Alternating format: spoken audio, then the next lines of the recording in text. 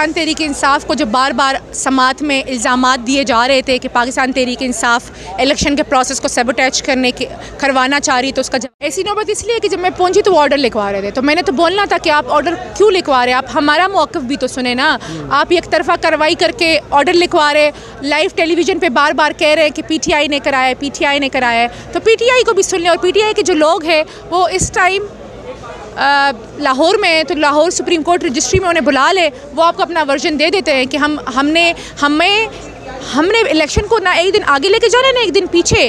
हम सिर्फ़ और सिर्फ़ इस मुल्क में जो सबसे इंपॉर्टेंट इलेक्शंस हैं, वो अदलिया के माते नहीं होते। तो जूनियर कौंसल आके बताते हैं कि सीनियर कौंसल या नहीं है, या उनकी ये मजबूरी है तो उनको फैसिलिटेट किया जाए। तो मैं तो सिर्फ़ ये कहने वाली थी कि आप जो हमारे कौंसल जब वो लाहौर में तो आप उनको बुला ले रजिस्ट्री में, वो पाँच मिनट के वक्फे से आ जाते हैं, और वो आपको अपना मौका जगह आपको रिपीट कर रही हूँ। पी टी आई ऑफिशल को भी, आप वो भी सिर्फ़ देख रहे थे कि सुप्रीम कोर्ट की लाइटें बंद हो रही है, खुल रही है, बंद हो रही है, खुल रही है। जो भी था, मैं यहाँ पे आई हूँ रूल ऑफ़ लॉ के लिए।